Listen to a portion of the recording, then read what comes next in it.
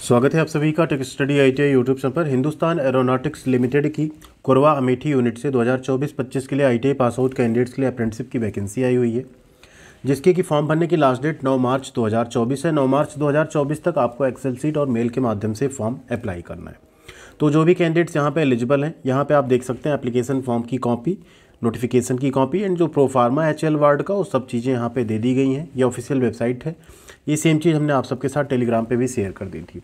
And जैसा आप लोगों की रिक्वेस्ट थी, आपने कमेंट सेक्शन में यस करके लिखा भी था तो यहाँ पर हम बात करेंगे कैसे आप ऑनलाइन फॉर्म इसका यानी एक्सेल सीट से फॉर्म कैसे भर सकते हैं और कैसे मेल कर सकते हैं स्टेप बाय स्टेप जिससे आप आसानी से अपना फॉर्म अप्लाई कर सकें मोबाइल फ़ोन से आपको साइबर कैफ़े जाने की ज़रूरत ना पड़े। तो चैनल पर नए सब्सक्राइब करके बेलाइकन को दबा लीजिएगा आप लोग एंड साथ में वीडियो को लाइक और शेयर करेंगे, सभी तक इन्फॉर्मेशन पहुँच पाएगी। और ऐसी सभी अपडेट इन्फॉर्मेशन के लिए यूट्यूब के साथ साथ आप टेलीग्राम पर भी ज़रूर जुड़ जाइएगा।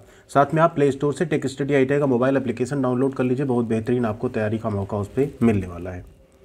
तो ये है आप सबके लिए यहाँ पे नोटिफिकेशन आप देख सकते हैं एच एल कोरवा अमेठी का ये आपका प्रोफ नोटिफिकेशन है जिसमें आईटीआई के electronic mechanic electrician fitter turner machinist instrument mechanic R draughtsman mechanic COPA machines grinder MMB electroplater welder painter general और stenographer and secretarial assistant English इतने ट्रेड यहाँ पे एलिजिबल नहीं पंद्रह ट्रेड यहाँ पे अप्लाई कर सकते हैं।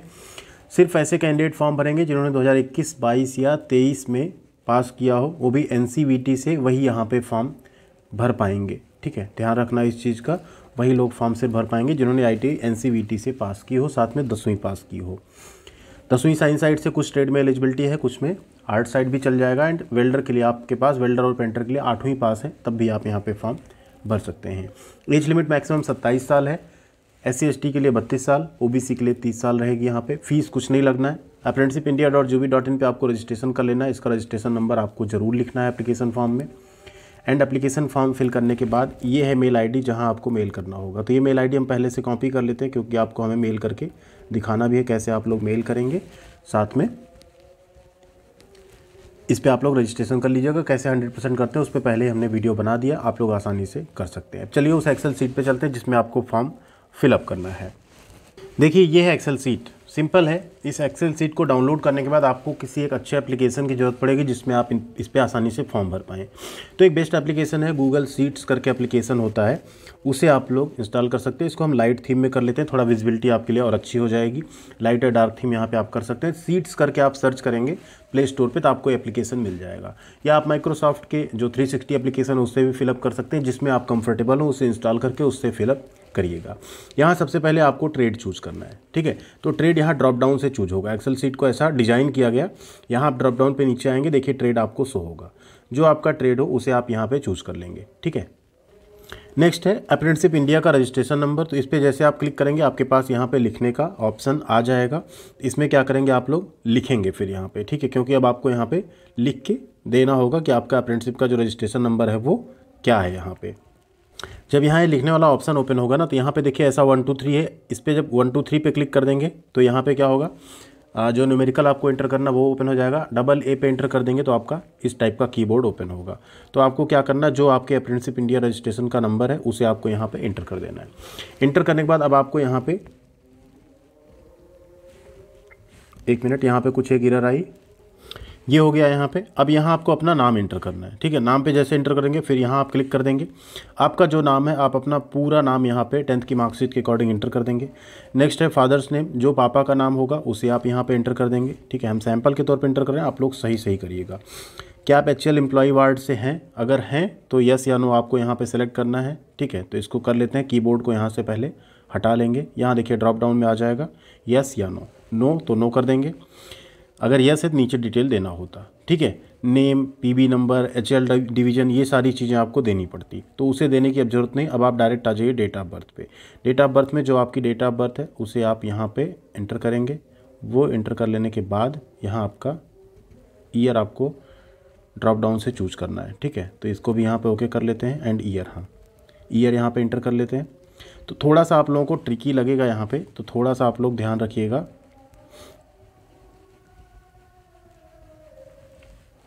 फिल करने में, मोबाइल से आप प्रोट्रेट मोड में करेंगे और आसानी से हो जाएगा। अब कैटेगरी देखिए, इसको भी आपको ड्रॉप डाउन से चूज़ करना है। यहाँ जैसे आप क्लिक करेंगे एरो पे, यहाँ पे आएँगे कैटेगरी आपको दिख जाएगी। जो आपकी कैटेगरी उसे आप यहाँ पे चूज़ कर लेंगे, ठीक है? फिजिकली डिसेबल्ड हैं यस या नो करना है, इस पर एरो पे क्लिक करिए, यहाँ पर क्लिक करिए यस या नो कर सकते हैं। जेंडर आप यहाँ से चूज़ कर सकते हैं मेल या फीमेल जो आपका हो। एड्रेस यहाँ आपको अपना एड्रेस टाइप कर देना है, ठीक है? इस पर आके अपना पूरा एड्रेस जो आपका एड्रेस हो A B C D name state village सब कुछ आपको इंटर कर देना है। फिर आपको यहाँ अपना पिन कोड इंटर कर देना है। यहाँ आपको अपना आधार नंबर देना है। यहाँ पे आपको मोबाइल नंबर, यहाँ ईमेल आईडी उसी तरह से टाइप करनी। यहाँ पे नेम ऑफ़ द इंस्टीट्यूट जहाँ से आपने पास किया अपना एग्ज़ाम, ठीक है? यहाँ पे आपको क्या करना है? स्कूल का नाम देना जहाँ से आपने एग्ज़ाम पास किया और उसके लिए आपको सबसे पहले क्या कर लेना होगा?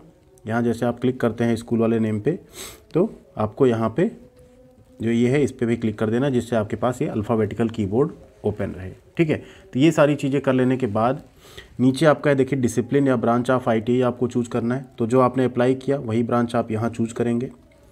फिर एन या एस तो इसमें एन आप चूज़ कर देंगे। Year and month of passing तो जो year and month of passing आपका है, उसको कैसे लिखना है, देखिए फोर टाइम वाई है।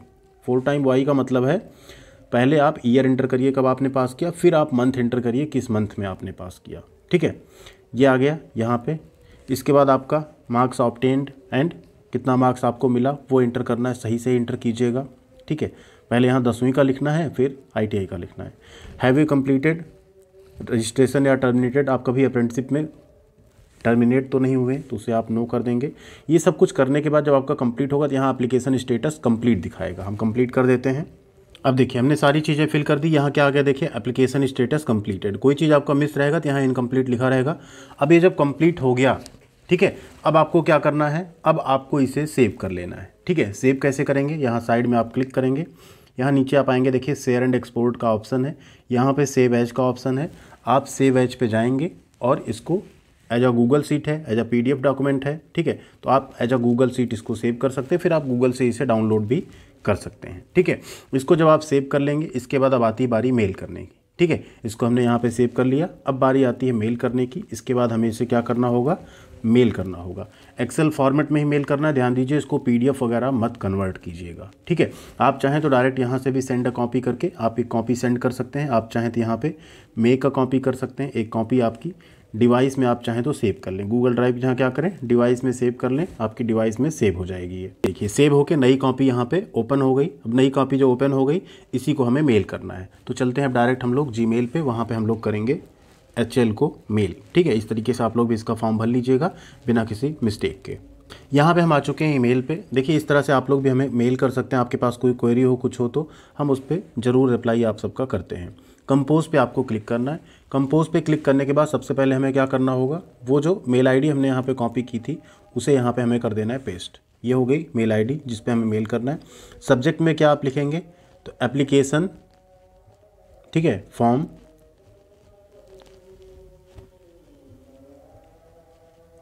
फॉर अप्रेंटिस 2024 25 इस तरह से आप लोग यहाँ पे लिख देंगे और एक्सेल सीट यहाँ पे आपको अटैच करना है। तो अटैच करने के लिए आपको इस पर क्लिक करना है और आप अटैचमेंट से ला उसे अपने डॉक्यूमेंट को अटैच कर देंगे।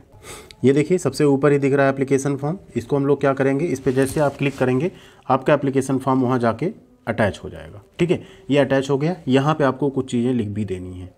डियर सर इस टाइप का, ठीक है?